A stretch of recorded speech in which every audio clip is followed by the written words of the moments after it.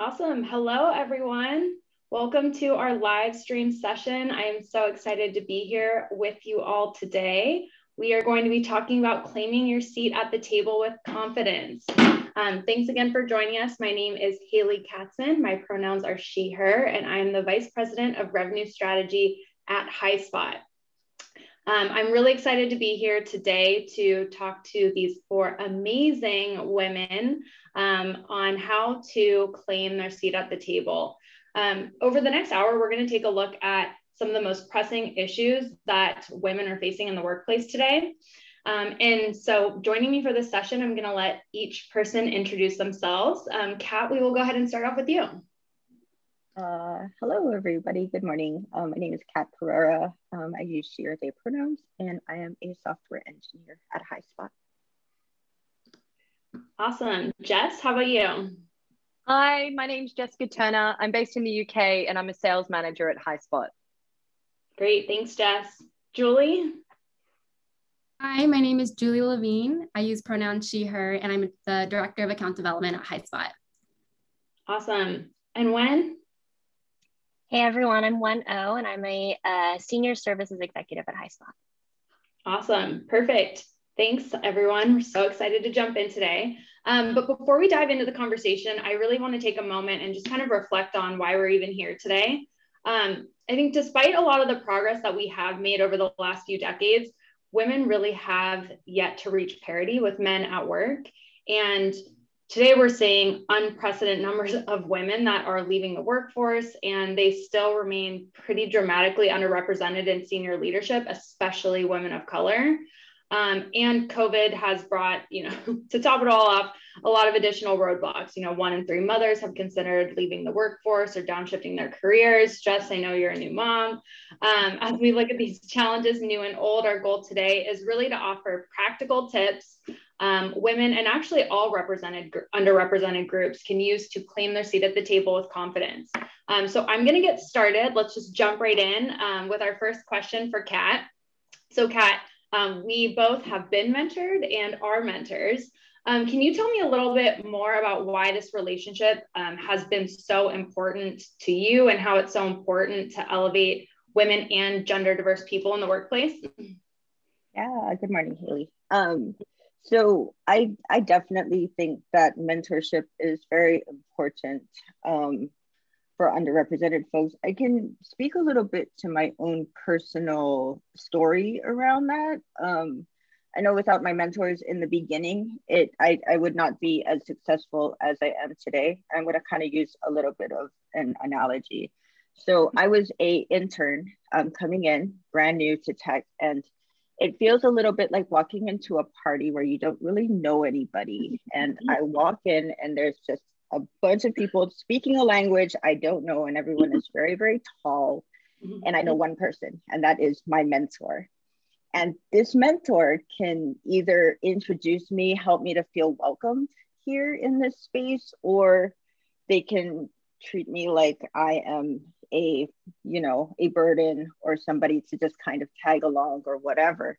So I was very, very fortunate, and I have a very awesome mentor, and um, helped me to feel welcomed from the beginning, um, and to help me to feel like I belong. So I think in the beginning, there's that need for belonging. Um, as I grew and as the relationship grows, I think that having a trustful relationship with a person who is a mentor, they can they can provide you with feedback that is either you know assurance that you are doing a great job or give you the feedback that you know you need to shift a little bit and shift your priorities. So having having that kind of relationship with someone to act as a beacon who you trust i think is just super important. Yeah trust is absolutely critical to having a great mentorship and, and relationship there. I'm curious kat for you and then maybe even anyone else as well following that how did you get your mentors and how do you kind of know if they're successful or if it's not successful if you should continue it if you should not? How, how do you kind of think about that? Yeah yeah that's a that's that's a good question. Um so how i get my mentors um i've been assigned mentors before. Um i've sought out folks that i thought would make a great technical mentor okay. um doing like a flash mentorship kind of a thing And I've also had folks reach out to me asking if they could mentor me, um, seeing something in me that they would help to help to grow.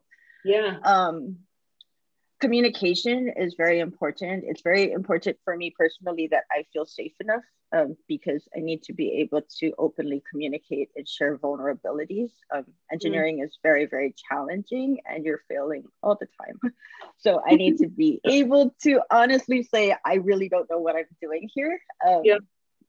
With, with a person um, and for ha- to have them not judge or you know judge me in a way that makes me feel belittled or anything like that. So that that's super important to me. And I do think that it's important to be able to recognize those signs when things are not going quite in a way that is helping or you know if things are too stagnant or things are too quick um, being able to recognize that and not make it be a thing that's personal just you know this is a working relationship and this is sort of sort of what that is. Yeah. Yeah, that's great. I love that piece. And you and I have um, talked about this before, but that flash mentorship concept, I know that you've said, you know, you could have a long-term extended um, mentor, mentor. You could have a flash one that's maybe oriented around a specific goal or something that you're looking to accomplish, or it could even be just, you know, a one-time conversation. I'm curious, you know, for, for anyone else, um, you know, for people that are listening, they're like hearing this probably and saying, okay, great. Like I want to mentor or I want to mentor someone like,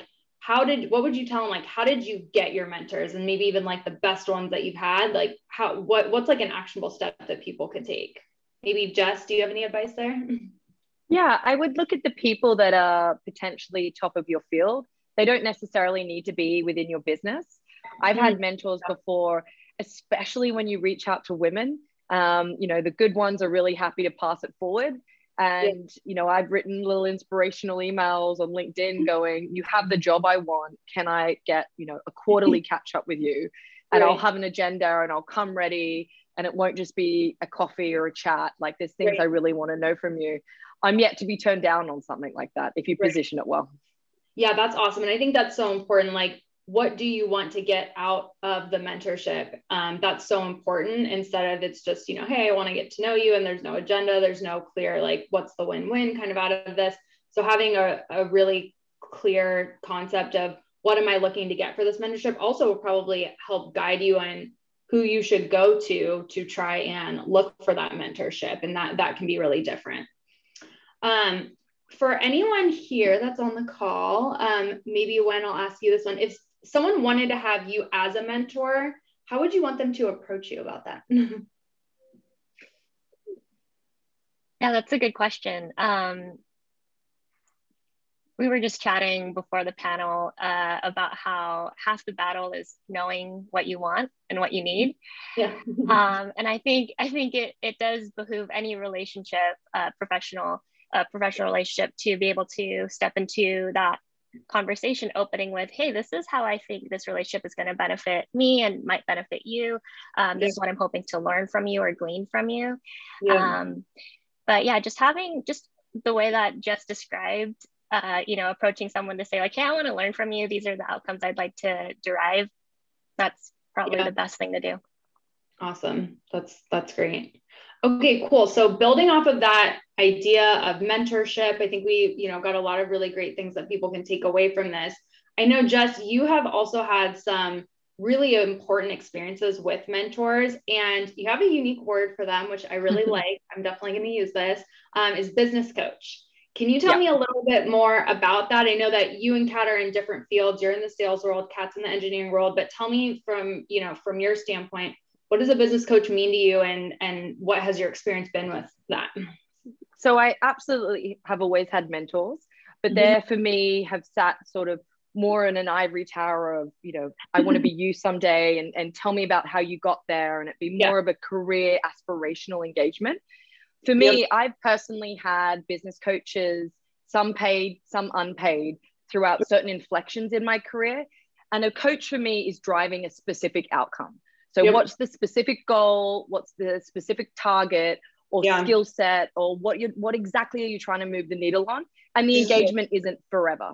It's often a short spurt mm. of, for example, I transitioned from being a lawyer into selling, never sold before, and I I paid a sales coach to take me through the first 30, 60, 90 days yeah. and land effectively. And currently, um, HighSpot have provided me, um, firstly, Jason Kim and now Bree Tobin, mm-hmm. sales manager coaches, because I've never right. been a sales manager. Yeah. So I'm able to take specific problems literally to Bree every week and have her coach me on how to deal with that the next day. Mm-hmm. So yeah, I've, I've found them to be incredibly effective and it's yeah. outcome based and it's not a relationship that you potentially would have forever, like a mentor. Yeah, it's almost kind of what Kat had mentioned about the flash mentorship, but then it sounds like the add-on with it is, you know, it's probably in your field around the skill sets that you're looking to develop with a specific outcome. So like, you know, mentorship could be related to the specific job that you have, or it might not be, but this business coach is like goal-oriented, kind of the flash concept, um, and really meant to help you build your skills. And I think it's it doesn't have to be either or. You don't have to have a business coach or mentor. It absolutely could be both and you know they can help you grow in different ways. Um, so i absolutely love that. Okay so question um, on this. So i know that you have had business coaches that are um, you know male female similar personalities different personalities you know in the same region as you different regions all, you know all different kind of perspectives. How have you found um, ways to teach someone to manage, lead, and coach you in a way in a way that brings out your best self? Yeah, I think if you have to be very specific on who you select. So mm-hmm. when I was aligned with Jason Kim at HighSpot on, um, you know, my first sales manager position, the business aligned him with me, and his personality is the polar opposite of what I yeah. am. Uh, yep. His skill set far, far beyond me. So many more years of selling and coaching and training teams but that the business deliberately aligned the difference. I don't mm-hmm. need more rah rah. I need to be more thoughtful. When and when you're dealing with teammates that are different from you, having a more of a, a reflective approach um, was very helpful. So, mm-hmm. aligning on skill set and aligning on the outcome you want to drive and personality really helps guide and deliver, you know, a good experience for you as someone right. that's being coached. And so the person that like is your coach, you know, Jason, let's just say early on, might not have known the ins and outs of you, Jess, right? And so is that something where you um kind of gave him the download on on you so that he knew how to best coach you, if that makes sense? I'm like a one page book, Haley. So it was pretty easy to read. Me. But notwithstanding that, a really good coach knows how to do that really rapidly. Mm-hmm. And you have to be open to being vulnerable um, that's why I sometimes think having coaches outside of the business that you're currently in mm-hmm. as well is really helpful, especially a paid engagement, because yep. you can fully download this is what I'm not good at, this is where I feel weakness, right. and not feel it's going to be, you know, traveled back to your manager. And, and, and in my case, obviously, it wasn't. But you need to be vulnerable. You need to be really honest with what you're not good at and what you're trying yeah. to achieve, and check the ego at the door before you enter the session. Sure. Otherwise, it's a waste of time. Yeah, 100% check the ego. I've definitely found that when coaching people, the the person that you're coaching or even maybe even the mentee, the level of self-awareness that they have and that they can bring to the table um, like really directly correlates with the rate at which they can progress and grow because you can just like cut to it, get to it really fast and have a conversation. Um, and so I think like really great coaches, like you said, just can kind of peel the layers back to understand the individual. But if you can enter that relationship with like, hey, let me tell you, like, here are my strengths, here are my weaknesses, this is where I need help, like you can just hit the ground running so much faster. And so I think that's like a good way to even approach um, a mentor relationship, uh, coaching relationship, any anything like that. I'm curious if there's something specific um, for you, Jess, or really um, anyone as well. Is there something that you can kind of tell a story around that you know you had a coach that helped you achieve something that you wouldn't necessarily have been able to achieve on your own if you hadn't had the coach? Yeah no absolutely. Um, my first sales job i was top performing rep within a year. Um, I had a paid engagement with a, a, sales coach on a weekly basis that gave me homework that was practical, that on the Monday I could do and apply in the office fanatical prospecting, how to drive a sales cycle. And it yeah. was just so practical and related to the goal and objective of just being successful in that new transitional role that I'd never sold before. And by the end of the year, absolutely, I was top performing rep for the team. Yeah, awesome. That's great. I would have drowned without it. I would have drowned without it. The learning curve's too high. Right. Yeah. And and that's okay. I think that's, you know, um, you know, Julie, you and I've talked about this a little bit, but being comfortable being uncomfortable, right? And putting yourself in those situations is a big part of it. And it sounds like, you know, it, if you do throw yourself in those uncomfortable positions, having that mentor, that coach to, you know, support you there is, is a big way to kind of get, get through it and really accomplish those goals. Yeah, absolutely. And I think, like you mentioned, bringing the self awareness to the table and being comfortable with your mentor to lay everything out on the table and call out the things that you recognize may not be your strengths yeah. um, always help uh, the relationship with your mentor move forward even faster um, and they can help you mitigate your weaknesses and turn them into strengths um, so i think with that you know never be afraid of recognizing what you want to work on and that's where i think your mentor will bring the guidance and support or tips and point you in the right direction for sure yeah, absolutely. That's fantastic. Okay, cool. So um, I, I really like the perspective that you brought Jess on, you know, achieving specific outcomes. I think that that's really, really important and always staying kind of, you know, oriented around that. Um, in a similar vein, I want to ask my next um, question to Wen.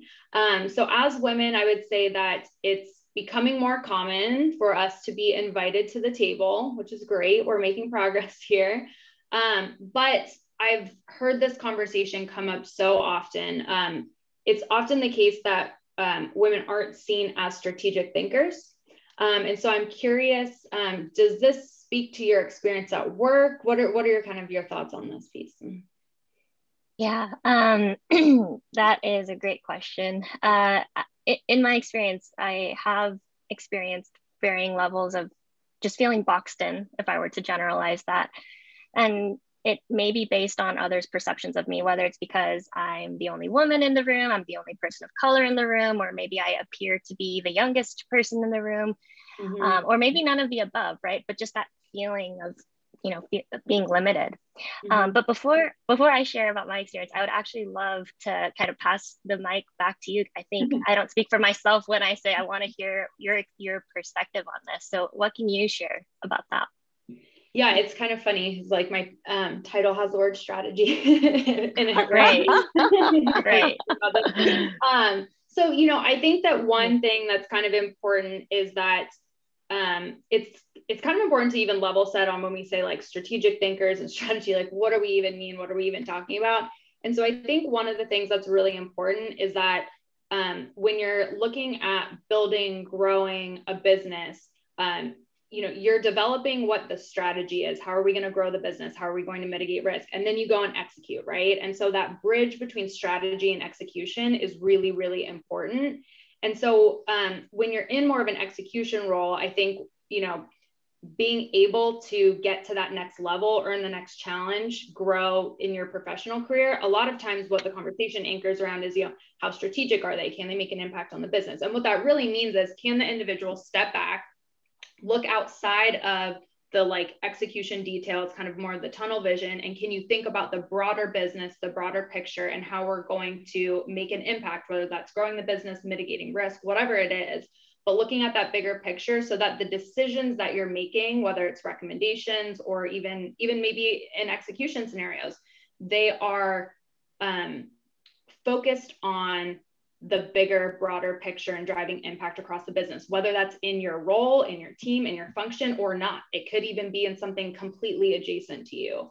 And so when you think about that, a lot of that has to do with like how you think about approaching scenarios. I think one of the challenges that happens quite often, especially um, with women and generally underrepresented groups, is that there's a communication element to being strategic you have to be able to communicate what is in your head and people have to listen and then be able to internalize what you've said and then act on it and so if you think about communication i think that there are a lot of challenges especially if you know there's a leadership team that um, is of all white male right mm-hmm. then that might mean that they aren't familiar with or having similar perspectives to the people that might be able to give strategic thoughts and drive impact on the business. And so I think that, you know, one is like, can you think about being strategic? And then two is, can you effectively communicate that?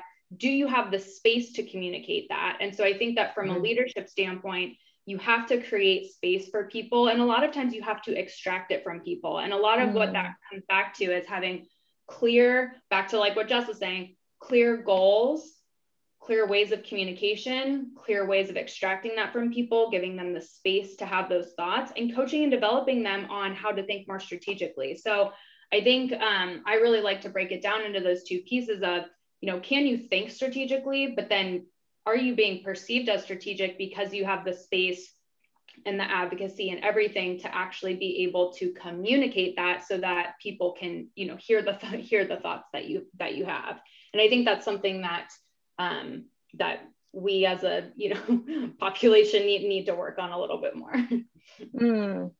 yeah I, I love what you shared because it's not just about what can i as an individual do to overcome these barriers but you're also putting thought into what can leaders do to create that space for mm-hmm. folks to be able to step into more strategic roles and yep. be able to express in that way.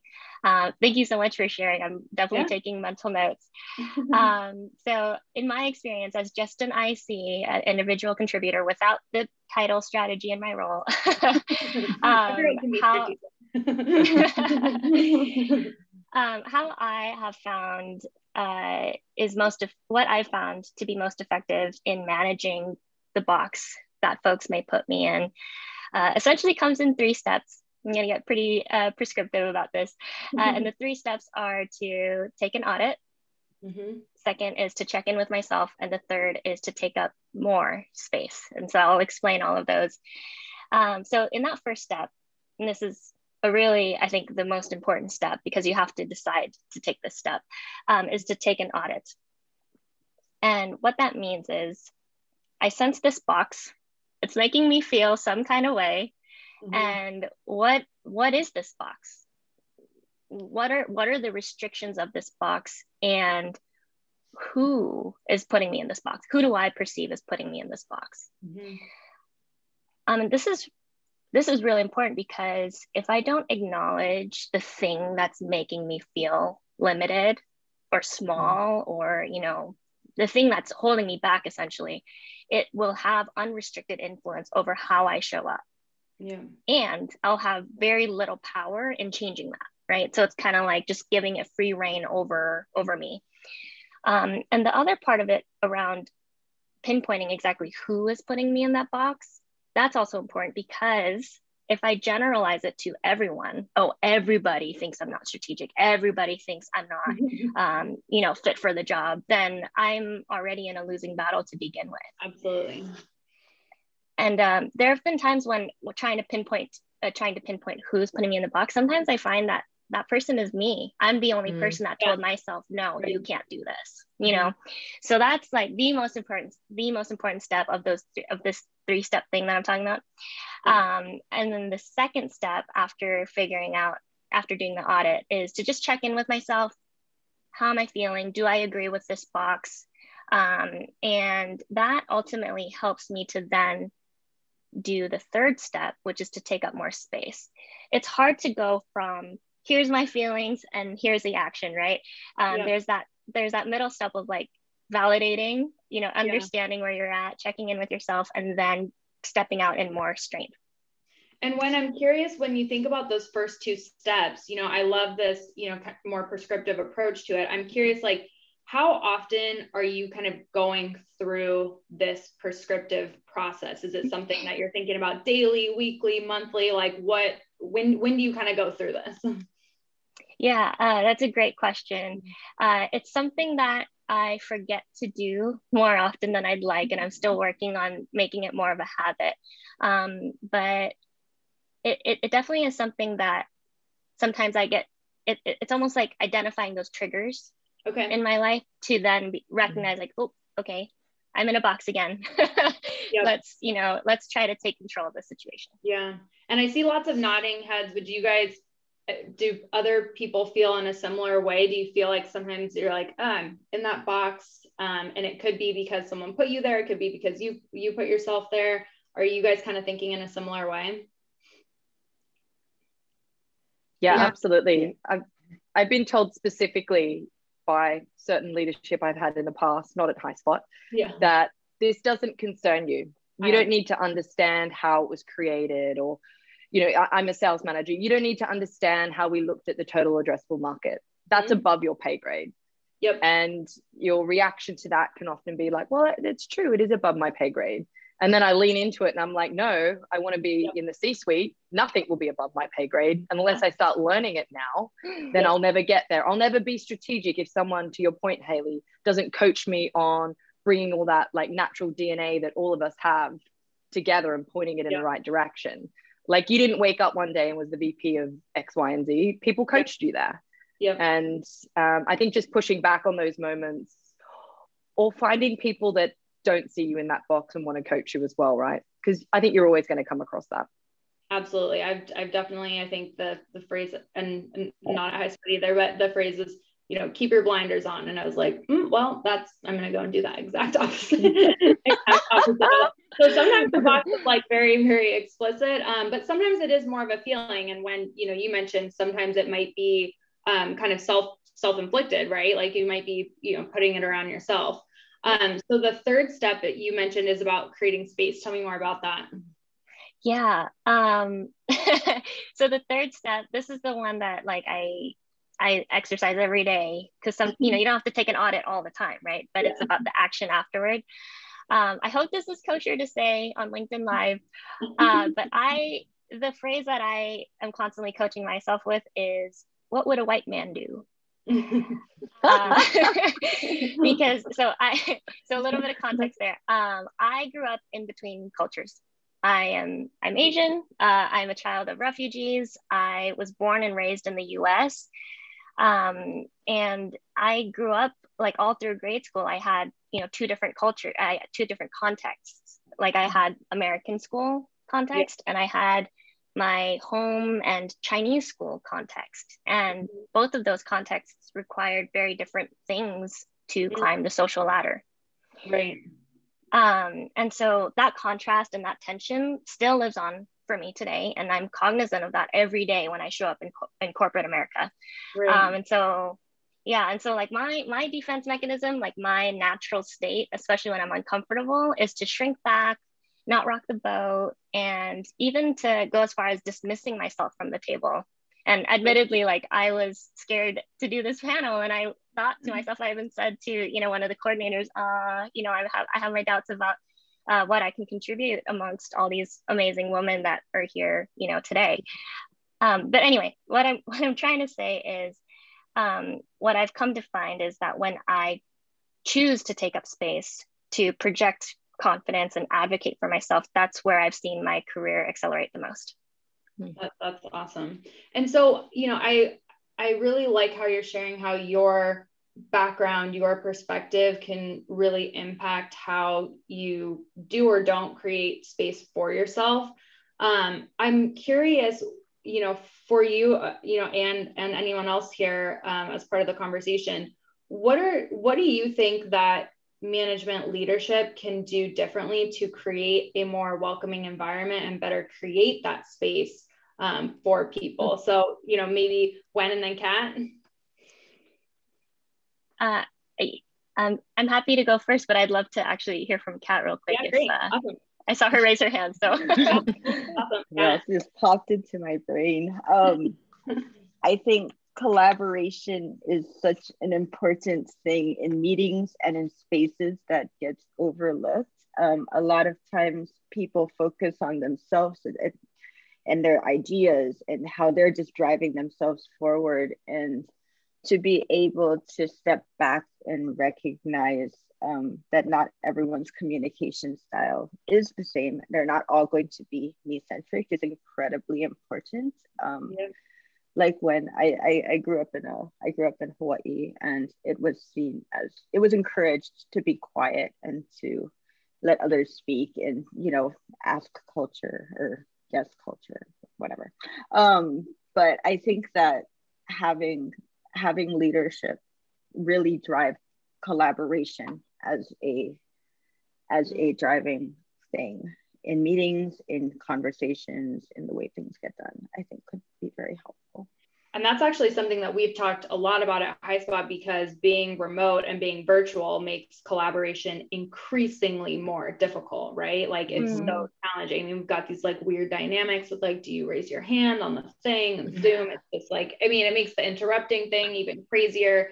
So I think like, you know, it, I think when when leaders get to a certain level, communication and collaboration, a lot of times those things kind of can take a back seat because they're maybe just seem uh, like more implicit, like they're always going to happen. And I think, you know, Kat, to your point, being really explicit and intentional about communication and collaboration, if you do that, you will then create space for different people within the organization. And then they can bring strategic ideas, they can grow their careers, they can ask questions. And ultimately, it's just, you know, absolutely better, better for the business. Yeah, we're all very talented people here. So yeah, like great. Yeah, absolutely. absolutely. Okay, well, so all of this does kind of have a little bit of a flavor of, you know, I know imposter syndrome has been something that, you know, has been a big topic of conversation, especially, you know, you know, it's Women's History Month. That's something that I see come up a lot of times in conversations oriented around, you know, women earning a seat at the table. Um, you know, Julie, I know this is a topic that you've talked about that you feel really strongly about. Can you tell us a little bit about your experience managing it?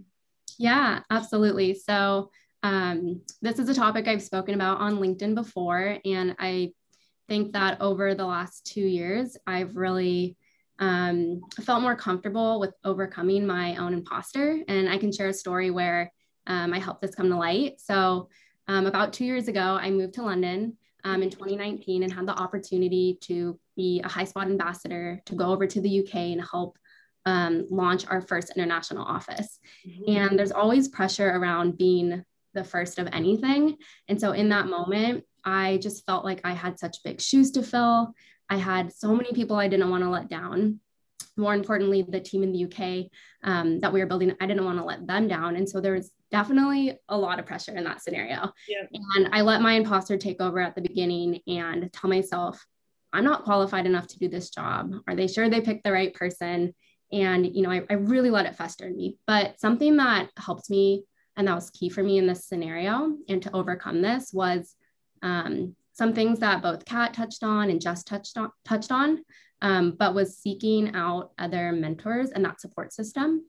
So I had both a business coach, you, Haley, in that scenario, and I had mentors um, outside of the business, inside of the business, in addition to my friends and family.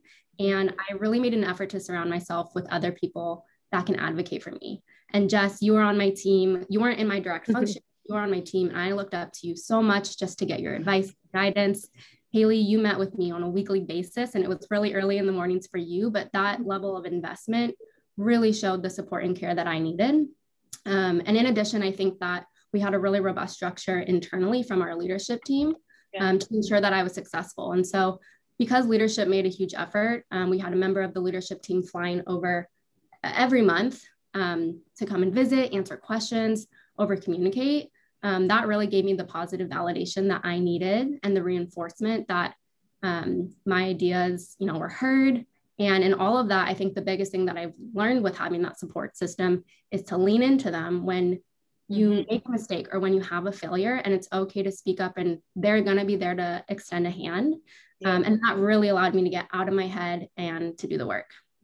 Yeah, absolutely. I mean, I think that, you know, that experience that, you know, you went through and, you know, really learning to be comfortable being uncomfortable is you know such a you know growth experience and i love the part that you said around you know if you don't know something or you mess something up or you know if, if you're in that type of situation feeling comfortable leaning into the support system that you have around you i know you know from my standpoint that's like what i want the people that are on my team i'm like bring me the problem, bring me the challenge, like escalate it, should like, because I can't see what's going on if not. And then that really allows you to help people grow and develop and, you know, learn in that scenario. I'm curious, what would you say is kind of the biggest lesson, you know, now that, you know, you've gone through that experience um, and, you know, you're taking that back to your role now as a director leading, you know, a really large team, you know, at HighSpot, what's kind of the biggest lesson that you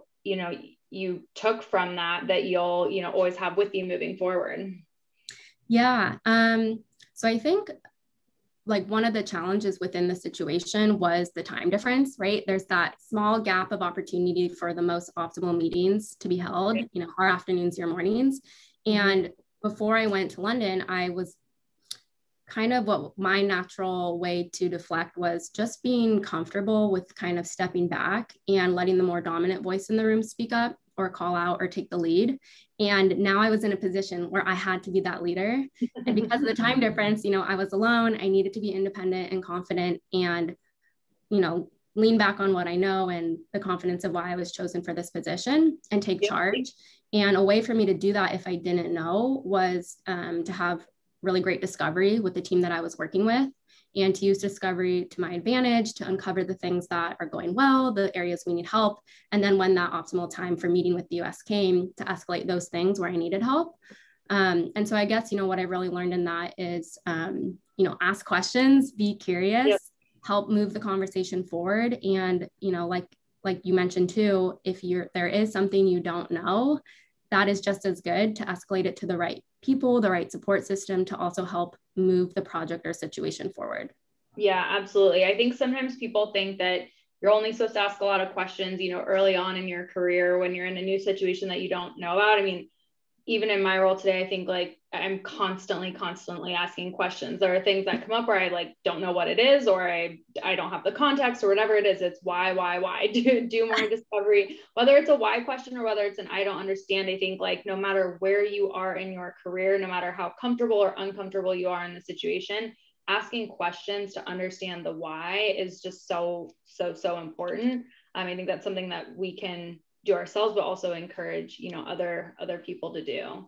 Um, mm-hmm. I'm curious, Julie. Um, you know, one of the things that we did also talk about is, you know, I remember the um, way that you got that opportunity, right? Um, was I remember I think it was like a year before, um, you know, when I pitched the idea um, to you, you actually had told me that you, you know, wanted to take on an opportunity of, you know, moving to another country, help starting up um, you know, a part of our business there. And so um, I don't know if you knew that you were doing it at the time, but I think putting your hat, right, putting yeah. your hat in was so important. And because we had that relationship, then I was able to go, you know, and, and advocate um, for you in that scenario. And so, um, you know, is, is that something that you, you know, have kind of taken away um, from that for future scenarios as well?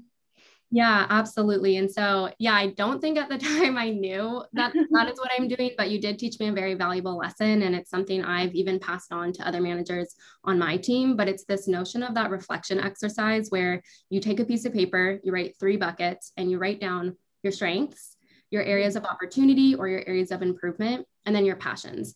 And I think this isn't just a one time thing, but it's a reflection exercise that any individual in any career at any point in their life can do quite frequently because a lot of these things are going to change over time. And a lot will stay the same too. But I think um, what's important is if you do this early on and you share that with your manager, with your business coach, with your mentor, that's where mm-hmm. you'll get to start to get the guidance on the things that you are passionate about and they can help you write down short-term and long-term goals that align to both your strengths but also the areas of opportunity that you can help grow in.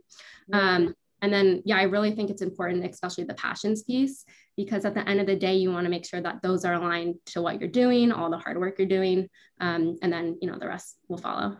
Yeah absolutely. And i think we were talking about this a little bit earlier but you know before this um, session but you know some people know exactly what career path they want to go down. Jess, I know you know, like you've known for a while exactly what you want to do. And sometimes people don't, which is okay. And, you know, I couldn't have told you that I'd be in the role that I am today two years ago, three years ago, how, however long ago. There's I couldn't have told you probably any of any of my previous um, roles. But that exercise that you mentioned, Julie, like write down your strengths, write down your areas of opportunity and the things that you're passionate about. And you know, just we were talking about this, your passions and what you're successful at, they usually end up being pretty, pretty similar.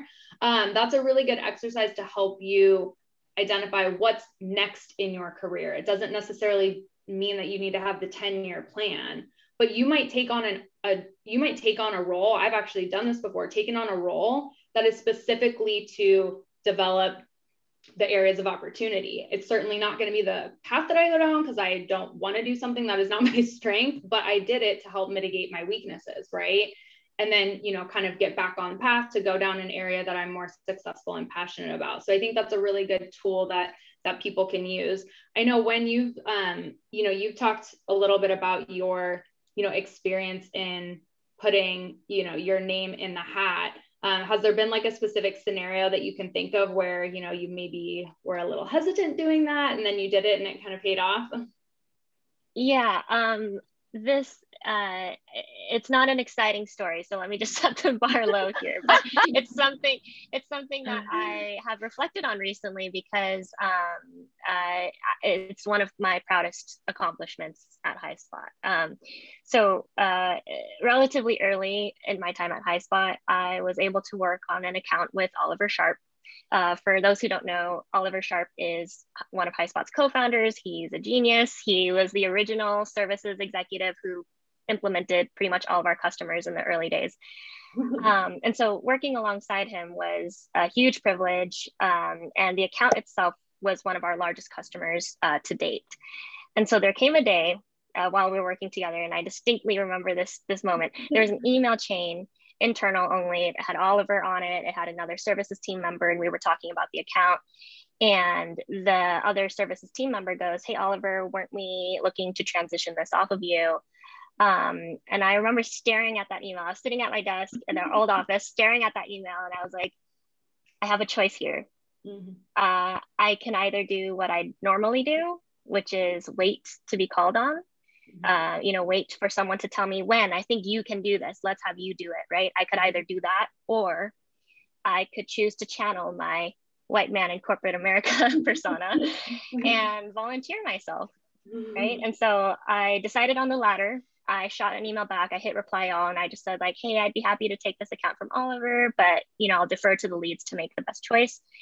Um, and I was really nervous. I kept checking back to see what Oliver would say. and uh, late, later that day, I did get an email back saying like, "Great, Wen let's work on transitioning this account over to you."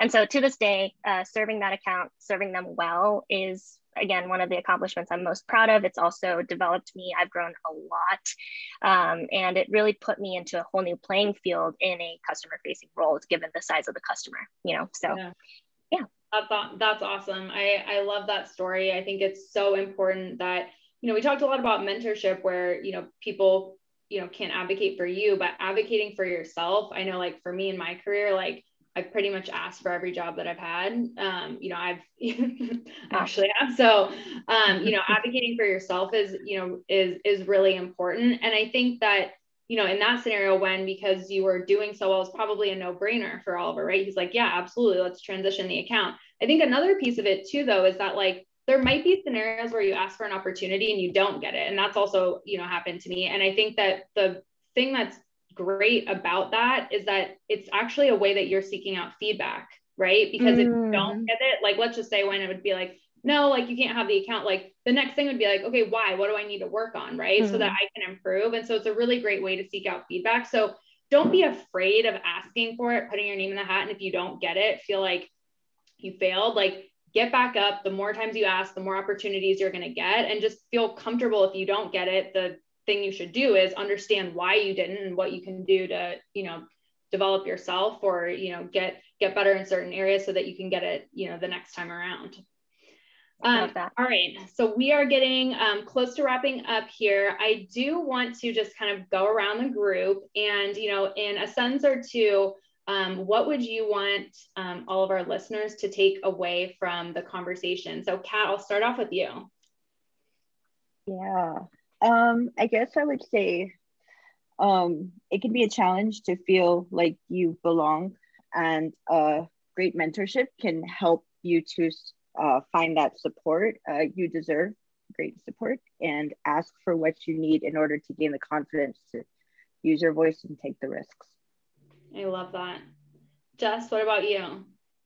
I'm a strong believer that if you want to sit at the table, you need a solid plan.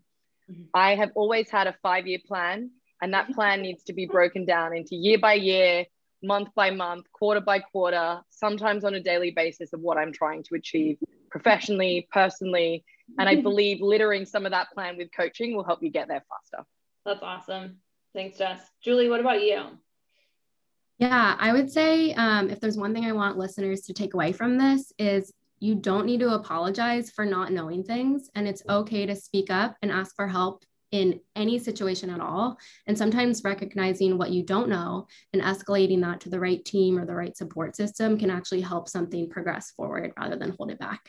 That's awesome. And that goes for like any level at the organization that you're in for for, Definitely. Yeah. Wen what about you? Yeah, um, just being cognizant, you know, we're in the middle of the workday for most people. Uh, just a reminder to pause once in a while, check in on yourself, take a breather, and then go and take more space. Mm-hmm. Absolutely.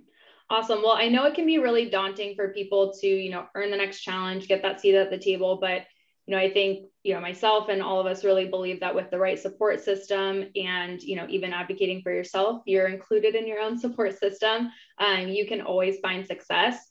Um, so as we come to the end of our conversation, I do want to close out by thanking all of our panelists for joining um, us here today. I also want to thank all of the attendees on LinkedIn Live and want to um, end with a call to action. Um, our biggest takeaway from today is really the importance of supporting one another and finding that community um, and being comfortable reaching out, asking for help, like Julie said, looking for mentors, mentoring others, um, being a coach for them, um, whatever you need to help you earn that seat at the table. And as we continue our workday today, I definitely challenge everyone here to find an opportunity to not only advocate for yourself, but advocate for someone else, whether it's yourself, whether it's a coworker, family member, friend. Um, all of these little small actions and a lot of the stories that you've heard today can really help strengthen our overall community, especially during this time where we all have to be on Zooms all the time, um, and will help ensure that you know we continue to make progress in the workplace. Um, so thank you again for joining us, and we look forward to continuing the conversation. Bye. Thanks, everyone.